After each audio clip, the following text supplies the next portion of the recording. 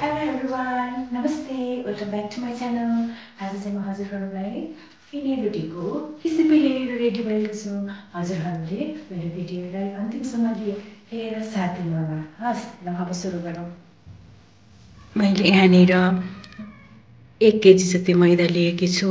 यसै गरी साँठा लाउनको लागि थोरै चामलको पिठो बटर सनफ्लावर ओइल ल साथीहरू अब चाहिँ अघि मैले यहाँ राखेको पिठोलाई मैदाको पिठोलाई यसरी मुस्नु मुस्दैछु। यसरी मुस्नुपर्छ।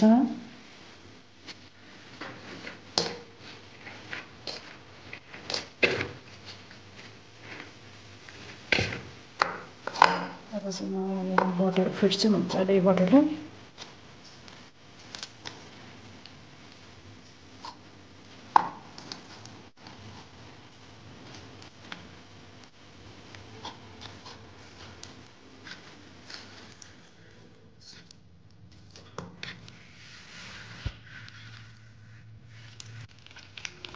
यसरी दुई तिन मिनट यसरी राम्रोसँग फिट्ने फिटिसकेपछि यसमा अघिको जुन चाहिँ चामलको पिठो थियो नि चामलको पिठो अब बिस्तारै मिक्स गर्दै जाने।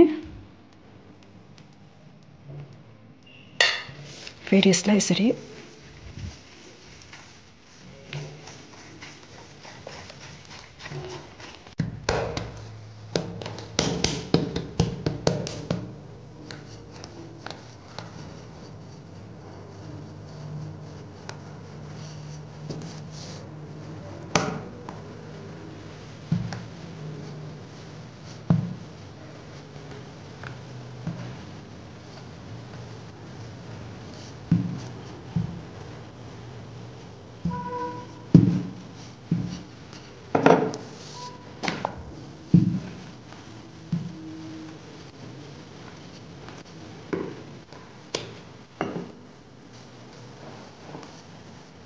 र यसरी रेक्टेङ्गल सेपमा